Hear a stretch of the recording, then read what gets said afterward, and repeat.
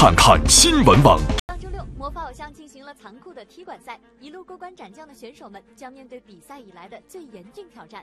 面对实力强劲的踢馆高手，魔法偶像的选手们纷纷使出了看家本领，以求晋级。来自宝岛台湾的选手郭柏辰，号称 CD 王子，在首场比赛中，他的 CD 魔术手法利落，表演极具现代感，赢得了评委的一致好评。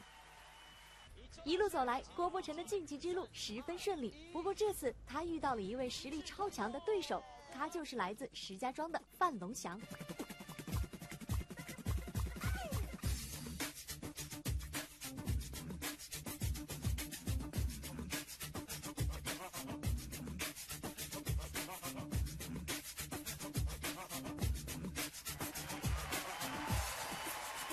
我觉得超厉害的、啊，超厉害啊！因为我们在看的时候，你们两个一直在那边哇哇，对不对？他们两个，他们两个男的，因为哦哦，发出一些很奇怪的声音。因为你们不懂，你们你魔，对，我你们就是不懂怎么样你。们的你们的你们的观点来看，只是看到扑克牌出现，看到没有是是？那哪一个魔术师不会把扑克牌变出来？所以你在握什么？对啊，就是你们的工魔术师来。说，骗出来的方法有上千上百种没。错，他的方法就是厉害的方法，所以我不会握嘛。了解了解。而且重点并不是他的方法厉害，是他有一些原创的动作，我觉得蛮厉害。原创的动作，原创的动作原创就是以前没有人做过的，然后他发明的，这件事情还不够厉害吗？哪里？请问在哪里？我怎么什么都没有看到？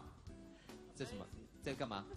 请请问这样拿跟那样拿有什么区别？这样拿跟这样拿当然有区别啊，这样拿很难，你们看得出来吗包？括他秀那个牌的手势，对他是刚刚这样秀，对不对他？不对，没有牌，这个变出牌来，这个还不够厉害。一般人都是用这样子拿的嘛，对啊包括你在内嘛。对啊，所以你没有，我也有些其他的。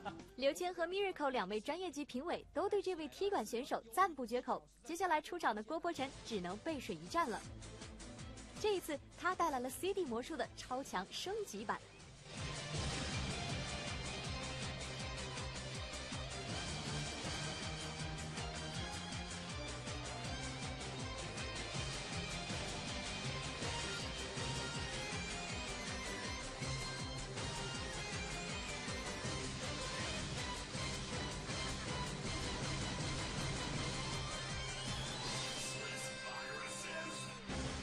最终，郭富城稳定的发挥和具有现代感的魔术设计，帮助他打败了踢馆高手，顺利晋级下一场比赛。我们也祝福这些有着原创想法的新人魔术师能坚持自己的梦想，带给我们更多精彩的表演。新青年记者黄月综合报道。